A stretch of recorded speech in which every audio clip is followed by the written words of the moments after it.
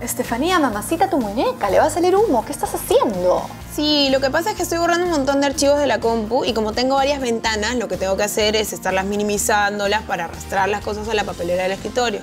No sé, es muy incómodo. Pero yo no te... Mira, no te preocupes, ¿ah? yo te voy a enseñar cómo agilizar este proceso de mandar las cosas a la papelera de reciclaje. A ver. Porque sí, en verdad sí es bien tedioso, mira. El truco que vamos a mostrar a continuación es para los numerosos usuarios de Windows 7. Este tip te permitirá poner la papelera de reciclaje en la barra de tareas, cosa que tienes tu tachito más accesible. Y así no tienes que estar minimizando o cerrando todas las ventanas abiertas que tengas en el escritorio para llegar al icono de la papelera. Lo primero que hay que hacer es crear un acceso directo a la papelera de reciclaje. Para ello, Cliquea sobre ella con el botón derecho del mouse y selecciona Crear acceso directo. Seguidamente, en una zona libre del escritorio, pulsa con el botón derecho del ratón y selecciona Nuevo y Carpeta. A esta nueva carpeta le pondrás como nombre Papelera y colocarás el acceso directo que creaste previamente dentro de dicha carpeta.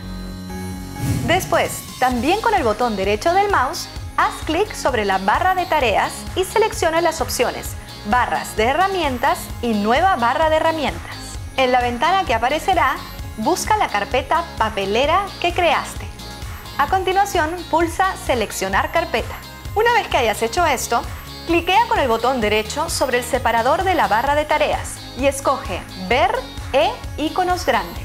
Pulsa una vez más sobre el separador y desmarca las opciones Mostrar texto y Mostrar título, si es que estuvieran activadas. Mucho ojo, si es que no puedes ver el separador de la barra de tareas, es porque esta está bloqueada. Para desbloquearla, debes desactivar la opción Bloquear la barra de tareas.